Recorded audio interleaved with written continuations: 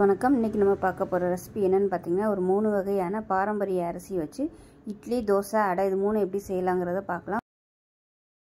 தங்க சம்பா இட்லி ரெண்டாவது சிவப்பரிசி அடை மூணாவது மாப்பிள்ளை சம்பா தோசை.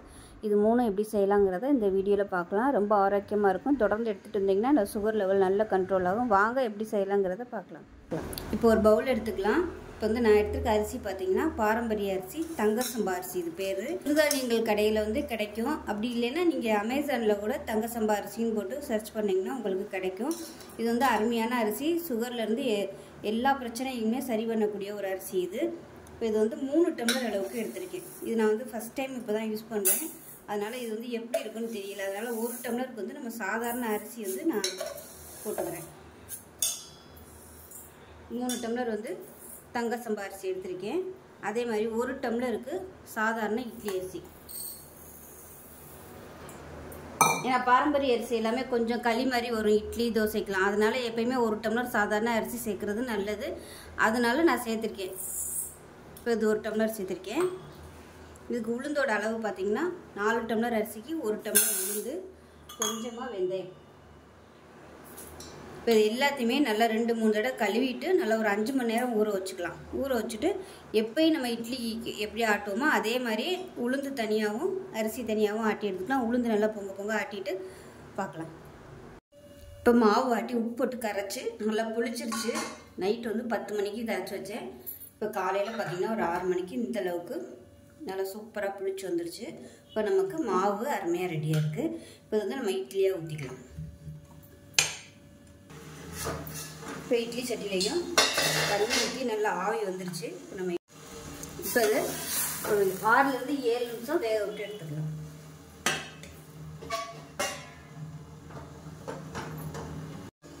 இப்போ இட்லி வந்துருச்சுன்னு பார்க்கலாம். பாருங்கள் நல்லா அருமையாக வந்துருச்சு. நல்லா சாஃப்டாக இருக்குது சூப்பராக வந்துருச்சு. நல்லா நார்மல் இட்லி மாதிரியே இருக்குது இது நம்ம வந்து பாரம்பரிய அரிசியில் வந்து செஞ்சுருக்கோன்னு சொன்னால் தான் தெரியும் அந்தளவுக்கு நல்லா அருமையாக வந்திருக்கு. இப்போ இதை நான் அப்படியே வச்சிடுறேன். இதுக்கு வந்து ஒரு சூப்பரான சட்னி ரெடி பண்ணிக்கலாம். இப்போ ஒரு பேன் எடுத்துக்கலாம். தேவையான அளவுக்கு எண்ணெய் சேர்த்துக்கலாம். எண்ணெய் சூடானதும் ஒரு டீஸ்பூன் சோம்பு சேர்த்துக்கலாம். இது கூடவே பதினஞ்சு சின்ன வெங்காயம் சேர்த்துக்கலாம். நான் வந்து சின்ன சின்னதாக எடுத்திருக்கேன். நல்லா குட்டியாக இருந்ததுலாம் ஒரு பதினஞ்சு எடுத்திருக்கேன். பெருசாக இருந்தால் கம்மியாகவே எடுத்துக்கோங்க. அது கூடவே ஒரு மூணு பல் பூண்டும் சேர்த்துக்கலாம்.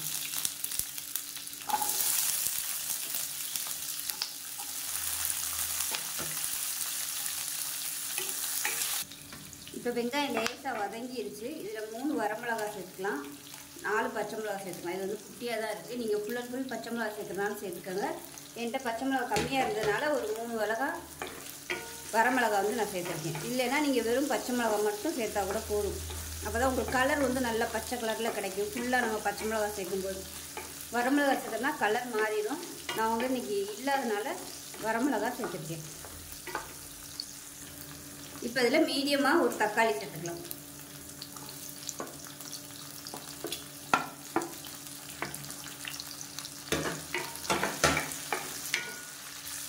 தக்காளி ஓரளவுக்கு வதங்கிடுச்சு இப்போ இதில் கால் டீஸ்பூன் போல் அதாவது கால் டேபிள் ஸ்பூன் மஞ்சள் தூள் சேர்த்துக்கலாம். ஒரு டேபிள் ஸ்பூன் தனியாத்தூள் சேர்த்துக்கலாம். இதையும் சேர்த்துட்டு அடுத்து மீடியத்தில் வச்சு வதக்கி விட்டுக்கோங்க இல்லைன்னா கருகி போயிடும். இது நல்லா வதங்கிடுச்சு லேசாக பரட்டினீங்கன்னா போதும். அந்த மசாலாவோட பச்சை வச்சுட்டு இப்போ இதில் நல்லா ஒரு கைப்பிடி அளவுக்கு கொத்தமல்லி. கொத்தமல்லி அதிகமாகவும் புதினா கருவேப்பிலை கொஞ்சம் கொஞ்சம் சேர்த்துக்கோங்க இது வந்து ஆப்ஷனல் தான். புதினா கருவில் வந்து ஆப்ஷனல் தான். இருந்த வச்சுருந்தீங்கன்னா சேர்த்துக்கோங்க இல்லைன்னா ஒன்றும் பிரச்சனை இல்லை. இப்போ இந்த ஸ்டேஜில் தேங்காய் சேர்த்துக்கலாம். ஒரு மூணுலேருந்து நாலு ஸ்பூன் அளவுக்கு சேர்த்துக்கலாம். டேபிள் ஸ்பூன் ரெண்டு. மூணு. ஒரு நாலு ஸ்பூன் அளவுக்கு சேர்த்தா போதும். இதை சேர்த்துட்டு விரட்டி விட்டுட்டு அமர்த்திடலாம். ரொம்ப வதக்கணும்னு அவசியம் இல்லை. அந்த கீரை வந்து லைட்டாக அப்படி வதங்கினா போதும். அது அந்த பச்சை வாசனையோடு நல்லா அழகாக இருக்கும். அந்த சூட்டுலேயே வதங்கிடும். இப்போ அதுக்கு தேவையான உப்பு சேர்த்துக்கலாம். நான் வந்து கேஸ் அமர்த்திடுறேன். அமர்த்திட்டு அந்த சூட்லேயே வதக்கி விட்டுறேன் அவ்வளோ இது ஆறட்டும். ஆறுனதுக்கப்புறம் அரைச்சிக்கணும் இப்போ பாருங்கள் அதே கடாயில் கொஞ்சமாக எண்ணெய் விட்டுருக்கேன். கடுகு உளுந்து சேர்த்துக்கலாம். இது கூடவே கருவேப்பிலையில் சேர்த்துக்கலாம். வாசனைக்காக ரெண்டு வரமிளகா சேர்த்துக்கலாம். விதை எடுத்துட்டு சேர்த்துக்கோங்க. உளுந்து நல்லா செவந்து வரணும். இப்போ இது எல்லாமே நல்லா வெடிக்க ஆரம்பிச்சிருச்சு. கேஸ் அமர்த்திடலாம். அமர்த்திட்டு இப்போ நம்ம அரைச்சி வச்சுருக்க அந்த சட்னி வந்து அதில் சேர்த்துக்கலாம்.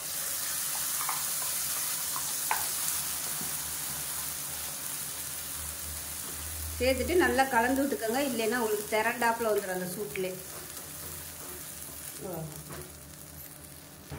இப்போ மிக்சியை அலசிட்டு அந்த தண்ணியை சேர்த்துக்கிறேன். இது நீங்கள் வந்து துவையலாகவும் அரைச்சிக்கலாம். கெட்டியாக அரைச்சிங்கன்னா சூப்பராக இருக்கும்.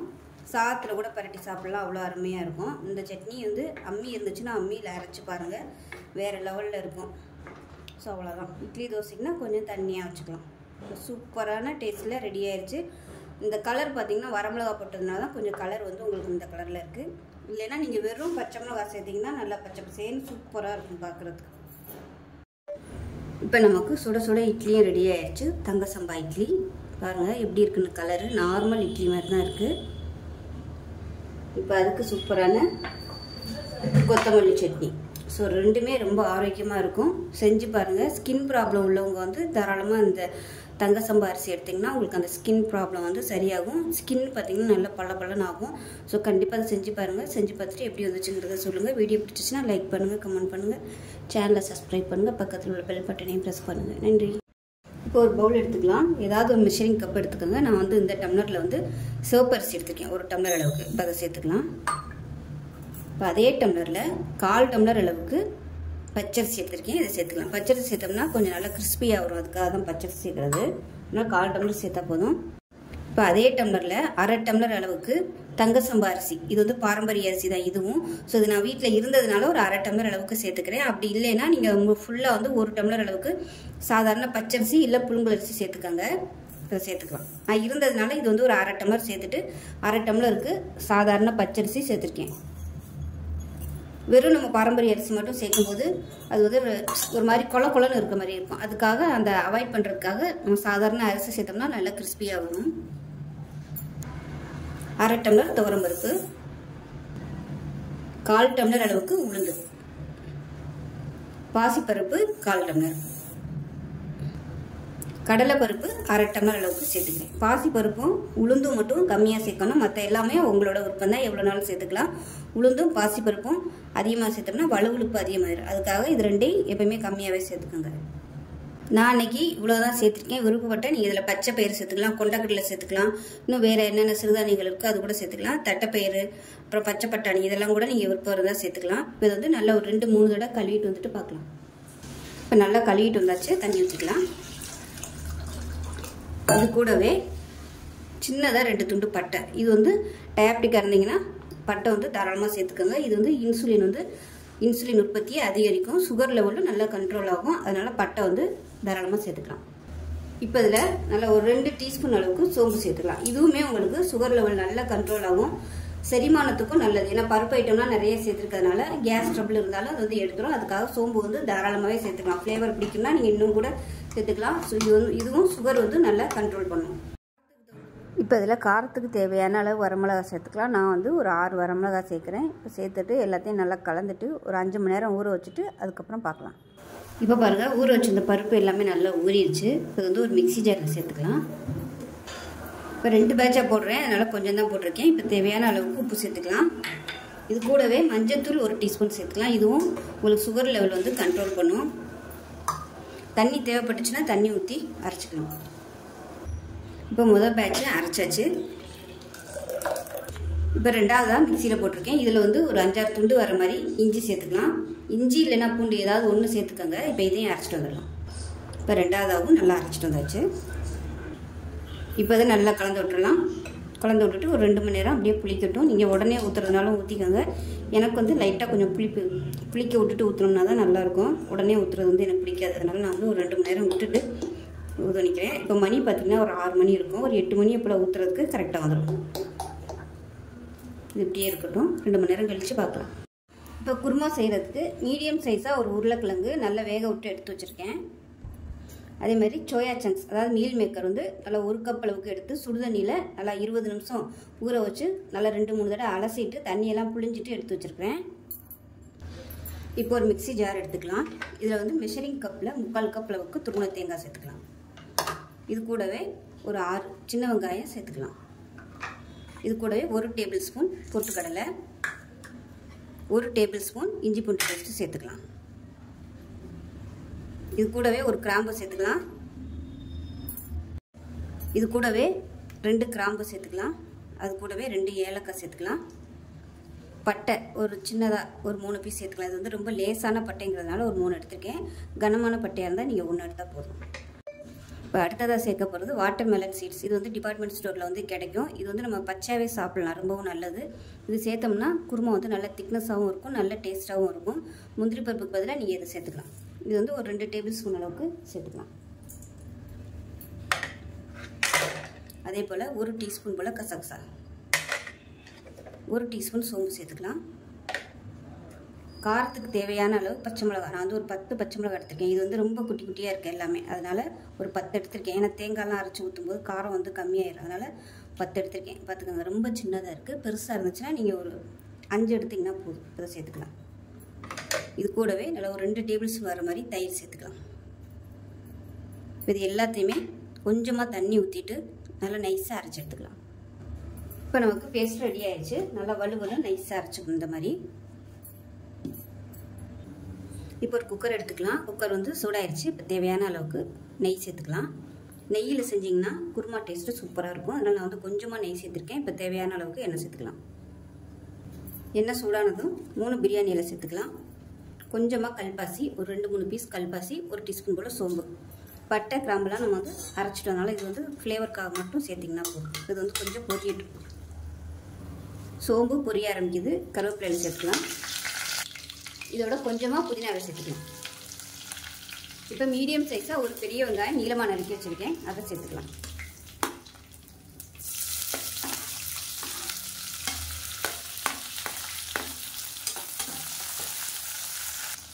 இப்போ வெங்காயம் இந்தளவுக்கு வதங்கினா போதும். ரொம்ப வதக்கிட்டோம்னா கலர் வந்து மாறிடும். மீடியம் சைஸாக ஒரு தக்காளி. தக்காளி ரொம்ப சேர்க்க வேணாம். கொஞ்சமாக சேர்த்திங்கன்னா போதும். இந்த அளவுக்கு சேர்த்தா போதும். இப்போ இதுக்கு தேவையான உப்பு சேர்த்துக்கலாம். இப்போ நம்ம சுடுதண்ணில் போட்டு சின்ன சின்னதாக கட் பண்ணி வச்சுருக்கேன். இது வந்து பெரிய மீல் மேக்கர் அதனால் ரெண்டாக கட் பண்ணி வச்சுருக்கேன். இப்போ சேர்த்துக்கலாம்.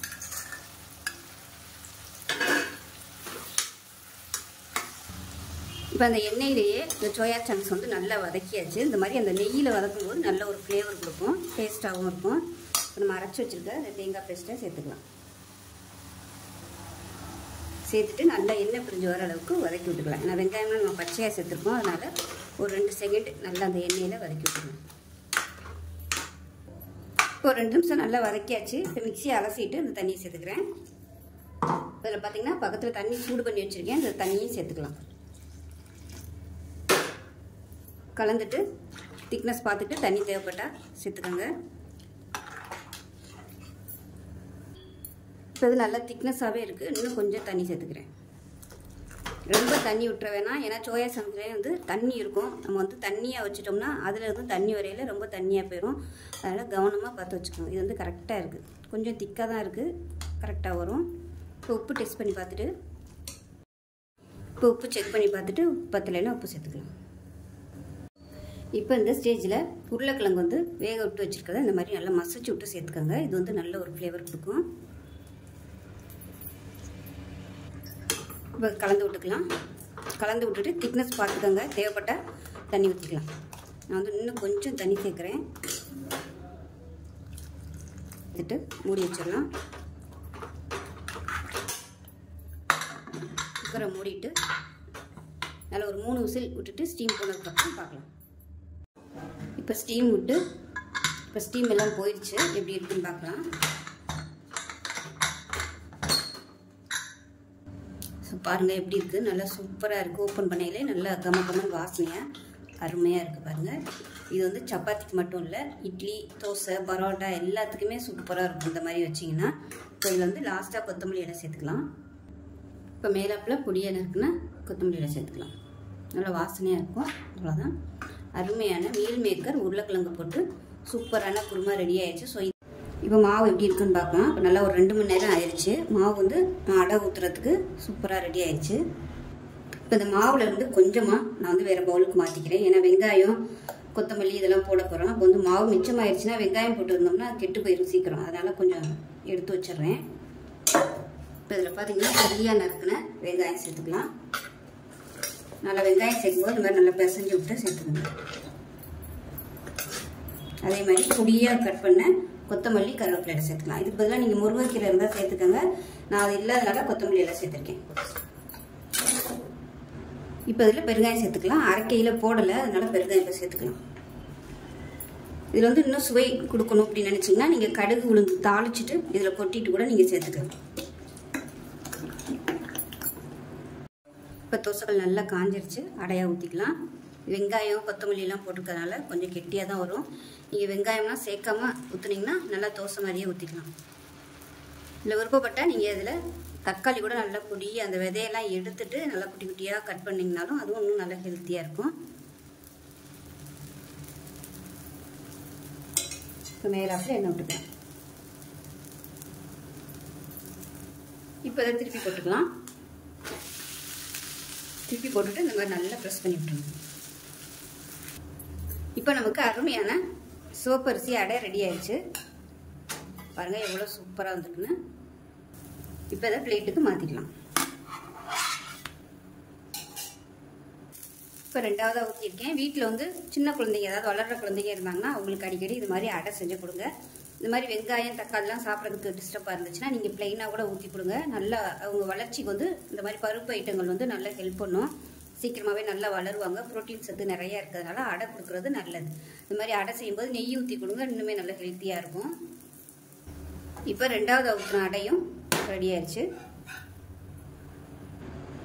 இப்போ அடை சூப்பராக ரெடி ஆயிடுச்சு. அதே மாதிரி அதுக்கு தொட்டு சாப்பிட்ற மாதிரி குருமா. அருமையாக இருக்கும். இந்த குருமா வந்து இந்த அடையில் ஊற்றி சாப்பிட்டிங்கன்னா அவ்வளோ பிரமாதமாக இருக்கும். இந்த குரு இந்த குருமா இட்லி தோசை சப்பாத்தி சாதம் ஊத்தப்பம் எல்லாத்துக்குமே பொருத்தமாக இருக்கும். டிஃபன் ஐட்டம் எல்லாத்துக்குமே பரோட்டாக்கெலாம் அந்த மாதிரி குருமா செஞ்சு சாப்பிடுங்க சூப்பராக இருக்கும். மட்டன் வெள்ளை குருமா மாதிரி அட்டகசமாக இருக்கும். ஊத்தப்பம் ஊற்றி இந்த மாதிரி குருமா வச்சு அதில் ஊற வச்சு சாப்பிட்டு பாருங்கள் வேறு லெவலில் இருக்கும். ஸோ செஞ்சு பாருங்கள் எப்பயும் போல் வெறும் பருப்பு சாதாரண அரிசி வச்சு செய்யாமல் இந்த மாதிரி சிறுதானியங்கள் பாரம்பரிய அரிசி வச்சு அடை செய்யும் போது ரொம்பவும் ஆரோக்கியமாக இருக்கும். கொஞ்சம் டிஃப்ரெண்ட்டாகவும் இருக்கும். ரொம்ப ஆரோக்கியமான ஒரு ரெசிபி கண்டிப்பாக எல்லாரும் செஞ்சு பாருங்கள் செஞ்சு பார்த்துட்டு எப்படி வந்துச்சுங்கிறத சொல்லுங்கள் வீடியோ பிடிச்சிச்சின்னா லைக் பண்ணுங்கள் கமெண்ட் பண்ணுங்கள் சேனலை சப்ஸ்கிரைப் பண்ணுங்கள் பக்கத்தில் உள்ள பெல் பட்டனையும் ப்ரெஸ் பண்ணுங்கள் நன்றி. தோசை செய்ய போகிறோம் இன்றைக்கி நான் எடுத்திருக்க அளவு பார்த்தீங்கன்னா ஒரு ரெண்டுலேருந்து மூணு பேர் சாப்பிட்லாம். ஏதாவது ஒரு மெஷரிங் கப்பில் எடுத்துக்கோங்க. நான் வந்து இந்த டம்ளரில் எடுத்திருக்கேன். இந்த டம்ளரில் ஒரு டம்ளர் அளவுக்கு மாப்பிள்ளை சம்பா அரிசி எடுத்திருக்கேன். அதே டம்ளரில் ஒரு டம்ளர் அளவுக்கு இட்லி அரிசி எடுத்திருக்கேன். ஸோ நீங்கள் வந்து ரெண்டுமே சேர்க்குறனாலும் சேர்க்கலாம். சேர்த்திங்கன்னா கொஞ்சம் தோசையோட ஒரு மாதிரி களி டேஸ்ட் மாதிரி வரும். அதனால் நம்ம இந்த அரிசி சேர்த்தோம்னா தான் கொஞ்சம் கிறிஸ்பியாக வரும். அதுக்கு பார்த்தீங்கன்னா ரெண்டு டம்ளர் அரிசிக்கு அரை டம்ளர் அளவுக்கு உளுந்து. கொஞ்சமாக ஒரு கால் டீஸ்பூன் போல் வெந்தயம். இது எல்லாத்தையும் நல்லா கழுவிட்டு நல்லா ஒரு அஞ்சு மணி நேரம் ஊற வச்சுக்கலாம். இந்த அரிசி வந்து பாரம்பரிய அரிசி வந்து ஊ- நல்லா ஊறினா தான் அரைப்படும். அதனால நல்லா ஒரு அஞ்சு மணி நேரம் எல்லாத்தையும் ஊற வச்சுட்டு பார்க்கலாம் இப்போ இது நல்லா ஊறிடுச்சு. இப்போ வந்து நான் கொஞ்சமாக போட்டிருக்கிறதுனால மிக்சியில் போட்டு அரைச்சிக்கிறேன். நீங்கள் இதே அளவில் வந்து நிறைய சேர்க்குறதா இருந்தால் கிரைண்டர்லேயே வந்து நீங்கள் அரைச்சிக்கலாம். கிரைண்டரில் போடுறதா இருந்தால் உளுந்து வந்து தனித்தனியாக போட்டுக்கோங்க. நான் வந்து கொஞ்சமாக இருக்கிறதுனால எல்லாத்தையும் ஒன்றா ஊற போட்டேன். இப்போ மிக்சியில் அரைச்சிட்டு பார்க்கலாம். இப்போ நல்லா நைஸாக அரைச்சாச்சு. இப்போ மிக்சியில் இருந்து அலசிட்டு அதை தண்ணியும் சேர்த்துக்கிறேன் இப்போ அதில் தேவையான அளவுக்கு உப்பு சேர்த்துக்கலாம். ஒரு கால் டீஸ்பூன் போல் உப்பு சேர்த்துக்கலாம். உப்பு சேர்த்துட்டு இது கை வச்சு நல்லா கரைச்சி எடுத்துக்கலாம். மிக்சியில் போடுறதுனால மாவு வந்து நல்லா சூடாக இருக்கும். ஒருவேளை நீங்கள் வந்து கொஞ்சமாக போடுறீங்க மிக்சியில் தான் அரைக்கணும் அப்படின்னு நினச்சிங்கன்னா அந்த அரிசி உளுந்து எல்லாத்தையுமே வந்து நீங்கள் ஃப்ரிட்ஜில் வச்சுருங்க. ஃப்ரிட்ஜில் வந்து வச்சிட்டிங்கன்னா அது ஊறிட்டே இருக்கும். நம்ம மிக்சியில் போடையில் சூடாகாது. நல்லா ஜில்லுனே இருக்கும். அப்படி இல்லைன்னா நீங்கள் ஐஸ் க்யூப் சேர்த்துக்கலாம் இல்லை ஐஸ் தண்ணி கூட சேர்த்துக்கலாம். நல்லா கரைச்சாச்சு. இப்போ இது வந்து நல்லா ஒரு ஏழுலேருந்து எட்டு மணி நேரம் புளிக்கட்டும். புளிச்சதுக்கப்புறம் பார்க்கலாம். அப்புறம் மிக்ஸி ஜார் எடுத்துக்கலாம். அதில் ஒரு அரை முடி துருவன தேங்காய் வந்து சேர்த்துக்கலாம் இப்போ இதில் மெஷரிங் கப்பில் அரை கப் அளவுக்கு பொட்டுக்கடலை சேர்த்துக்கலாம். நான் வந்து இன்றைக்கி வரமிளகா சேர்க்குறேன். வரமிளகா போட்டு பொட்டுக்கடலை சட்னி வச்சோம்னா டேஸ்ட்டாக இருக்கும். அதனால் நான் வந்து வரமிளகா சேர்த்துருக்கேன். நீங்கள் பச்சை மிளகா சேர்க்குறதுனால சேர்த்துக்கோங்க. கொஞ்சமாக கருவேப்பிலையில் சேர்த்துக்கலாம். இப்போ இதில் தேவையான அளவுக்கு உப்பு சேர்த்துக்கலாம். கொஞ்சமாக புளி சேர்த்துக்கலாம். சின்ன சுண்டக்காய் சீஸுக்கு புளி சேர்த்துக்கலாம். இப்போ கொஞ்சமாக தண்ணி சேர்த்துக்கலாம். இப்போ இதை வந்து நல்லா நைஸாக அரைச்சிக்கலாம். இப்போ நமக்கு சட்னி ரெடி ஆயிடுச்சு. இப்போ எப்பயும் போல் கடுகு கருவேப்பிலை பெருங்காயம் போட்டு தாளிச்சிருக்கேன். சேர்த்துக்கலாம். உங்களுக்கு தாளிக்கிறதுக்கு என்னென்ன ஃப்ளேவர் பிடிக்குமோ நீங்கள் எல்லாமே சேர்த்துக்கலாம். அவ்வளோதான் நல்லா கலந்துக்கலாம்.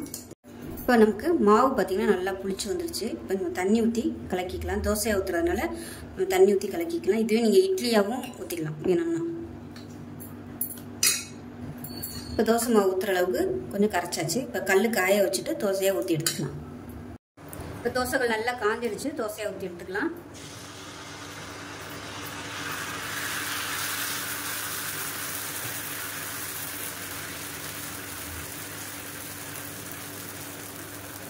நார்மல் தோசை மாதிரியே ஊற்றிக்கலாம்